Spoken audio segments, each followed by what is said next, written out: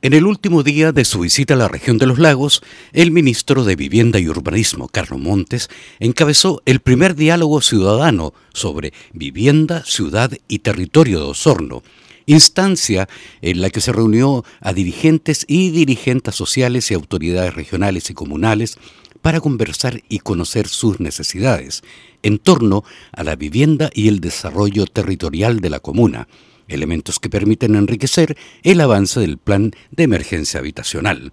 La actividad a la que asistieron también la delegada presidencial regional, los alcaldes de Osorno y Puerto Octay, el Ceremi de Vivienda de los Lagos y la directora del Servicio Regional fue organizada por el Centro de Formación, Diálogo y Participación Territorio Ciudadano del MIMPU espacio que busca convocar a distintos actores de la sociedad civil para reforzar su participación e incidencia en la construcción de políticas públicas, habitacionales y urbanas.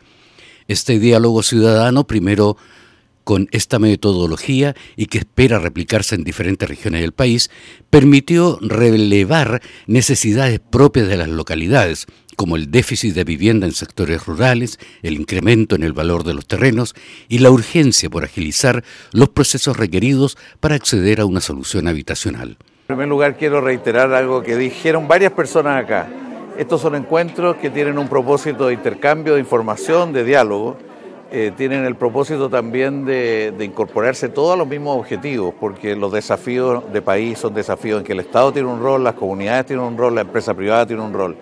Y lo que buscamos es clarificar el rol de las organizaciones que no solo son clientes del Estado, sino que son co colaboradores, cogestores, son protagonistas del proceso y eso es lo que ese es el sentido de esta, jornada. Muchas veces no, no, se entiende, a veces no resultan plenamente los objetivos, pero en eso hemos estado trabajando y estado trabajando toda la mañana y estamos haciendo esto simultáneamente en cuatro regiones, en cuatro lugares del país, pues lo vamos haciendo todos los fines de semana simultáneamente. Eso yo sé que eso no es lo más noticioso, pero sé que ustedes son comunicadores y normalmente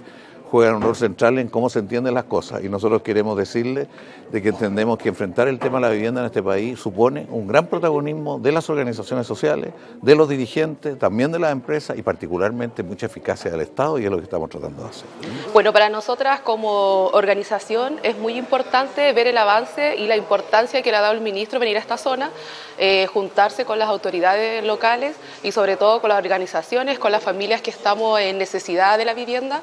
Eh, para nosotros es un gran avance, lo vuelvo a decir,